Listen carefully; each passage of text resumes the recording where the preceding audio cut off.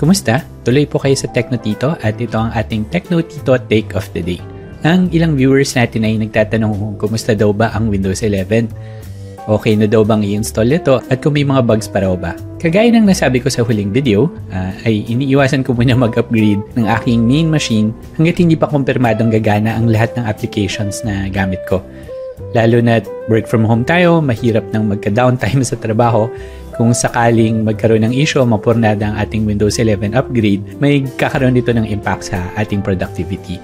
At least sa Windows 10 na currently ginagamit natin sa main machine natin, garantisadong nagagawa ko pa lahat ng kailangan kong gawin.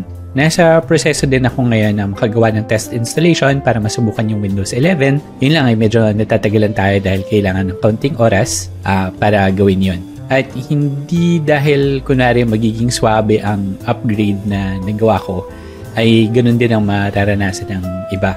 Kasi posibleng iba ang magiging experience ko sa mararanasan ninyo.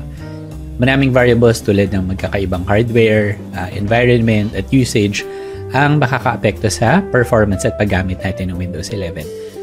Ngayon, para sa mga nagtatanong kung may mga bugs ba ang Windows 11, pwede nating tingnan ng official Microsoft documentation para dito.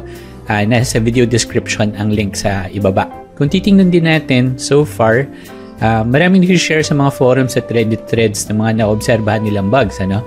Uh, halimbawa, uh, dito sa Reddit, yan, uh, may mga nagre-report na rin ng mga napapansin nilang mga issues. Uh, yung iba naman, sabi nila, swabe daw yung pagkaka uh, upgrade nila.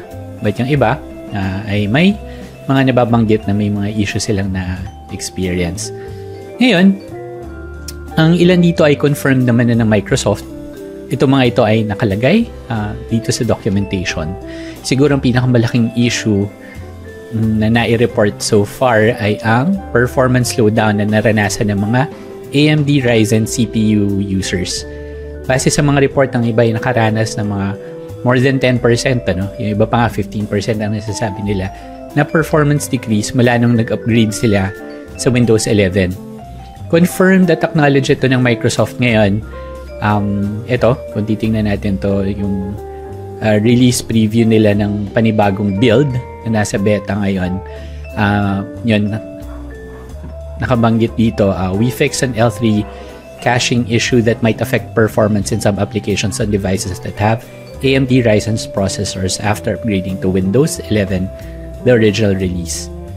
So, in-acknowledge nila itong issue na to at gumawa na sila ng fix. Nakapila pa nga lang ito sa beta and release preview channels. So, kapag uh, pumasa na ito sa beta usage, ano, kadalasan ay nakapila na ito para sa next update ng Windows 11 para maayos na itong issue nito. Ngayon, may mga iba pang halimbawa ng mga issue na confirmed na ng Microsoft tulad ng compatibility ng issues na ibang apps na gumagamit ng non-ASCII characters uh, sa registry keys. Kung minsan kasi hindi bubukas yung application na magpapakita ito ng error message dahil hindi niya ma-access yung tamang registry key niya. Kaya yan. Uh, ito, receiving a prompt for administrative credentials every time you attempt to print sa inyong mga user account control uh, issues and may compatibility issues din with some networking um, software. Um, bumabagal o nawawala yung internet. Yan. Uh, issues sa printing. Yan. Uh, printing protocols. At yung mga gumagamit ng uh, VirtualBox or uh, software ito para sa paggawa ng virtual machines sa computers. And confirmed na itong lahat ng Microsoft Uh, so far, ang mark na resolve pa lang is itong uh, compatibility issues with Intel Killer and Smart Byte networking protocols. So dito pwedeng ma-download ang fix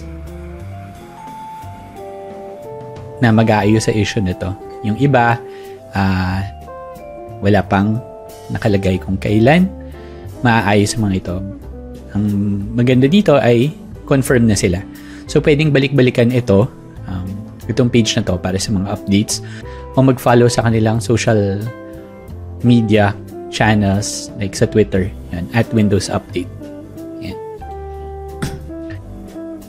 Kaya kung naka-upgrade ka naman na siguraduhin naka-enable ang Windows Updates o bisitahin nga ang website na ito para maka-download and makapag-install ng fixes.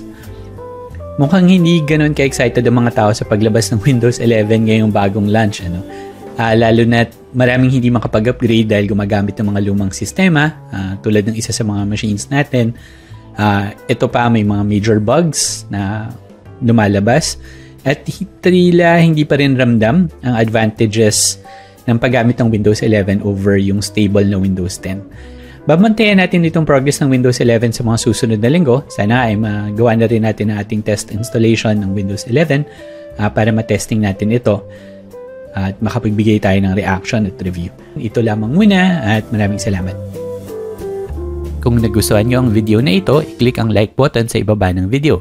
Para sa iba pang mga tutorial, mag-subscribe upang makatanggap ng notification tuwing may update. Yan lamang muna. Salamat!